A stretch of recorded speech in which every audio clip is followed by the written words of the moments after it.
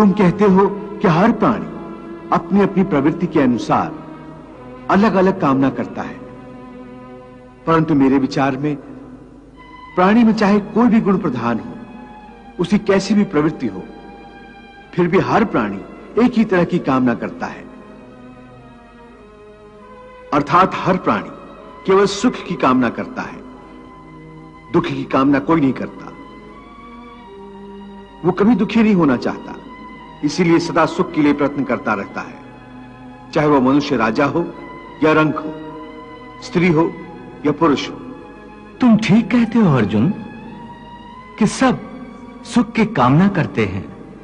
परंतु सुख की परिभाषा हर एक व्यक्ति की प्रवृत्ति और रुचि के अनुसार बदल जाती है।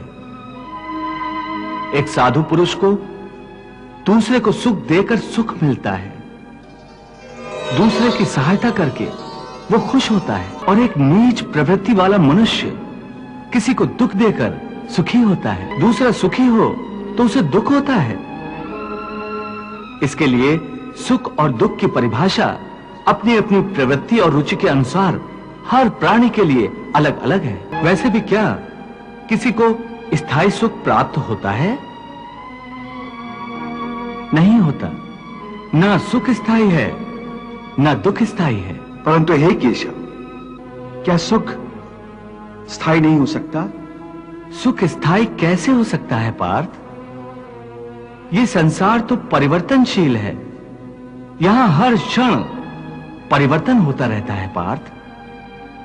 परिवर्तन तो प्रकृति का नियम है। यहाँ कोई भी वस्तु स्थायी नहीं होती। तुम्हें याद होगा, मैंने तुम्हें पहले ही बताया था कि हमारे शरीर की अवस्थाएँ भी स्थायी नहीं है। फिर सुख और दुख कैसे स्थायी हो सकता है? इसका अर्थ है कि सुख के साथ साथ मनुष्य को दुख भी भोगना पड़ता है। हाँ पार्थ। कभी प्राणी सुख में हंसता है वही प्राणी दुख में रोता और बिलखता है। परंतु काल चक्र कभी नहीं रुकता। सुख दुख का यह चक्र चलता ही रहता है। और मनुष्य के जीवन में सुख और दुख लगातार आते जाते रहते हैं। न चक्र ठहरता है, न ही सुख या दुख मनुष्य के जीवन में ठहर पाते हैं। यदि सुख आया तो वह सदा नहीं रहेगा, और यदि दुख आया तो वो भी सदा नहीं रह पाएगा। यत्र विश्वम भवती एक नीडम। अर्थात समस्त विश्व एक घोंसला है और हम सब उसी घोंसले के पंछी हैं। एक कैसा विलक्षण जीवन मंत्र, कैसी विशाल भावना, जिसमें विश्व की कई समस्याओं का समाधान है।